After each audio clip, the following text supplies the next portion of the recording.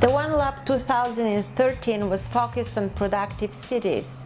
The school explores the hypothesis that in the future cities will grow self-sufficient in their basic necessities by using massive public works and infrastructural support. It's been 30 days and we're on our last day now and we're going to launch the projects that we've been working on this whole time today. What the project is are these floating experimental designs that are meant to contribute to this idea Terreform One has of productive cities.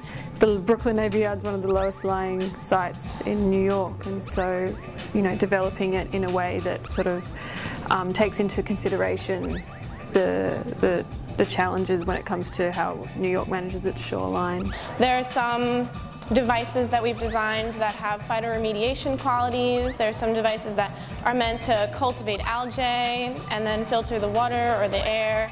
There are some devices that are meant to bring more public awareness. It is a, it, it is a more hands-on and collective form of learning than, than most education. I came here so I could try to cross the gap of my educational experience. It's been fun.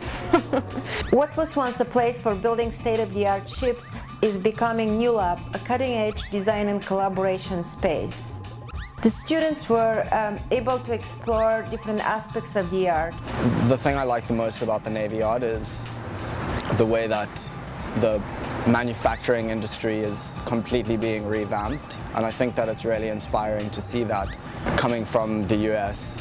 One Lab is partnering with CIEE, the nation's leading provider of international educational exchanges. We are developing a global platform and will start next year in three cities in Europe, Berlin, Barcelona and Prague. Join us in January there or come to New York next summer.